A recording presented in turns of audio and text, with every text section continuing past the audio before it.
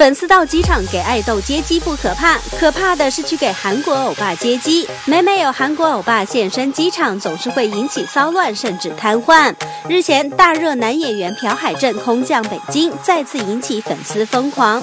当天至少有几百名粉丝，机场大厅楼上楼下全是人。不少眼明手快的粉丝们趁机给朴海镇塞礼物、塞鲜花，他竟然不论大小都亲手接过，拿在手里。即使差点被击倒，他也也不烦，依然笑着跟粉丝们挥手致意，四面八方都要照顾到。一直到出了大厅，他还不停微笑挥手，跟高冷的韩国爱豆们相比，简直是中央空调级别的暖男。离开机场，朴海镇先回酒店放行李，然后就带着众多工作人员浩浩荡荡外出觅食。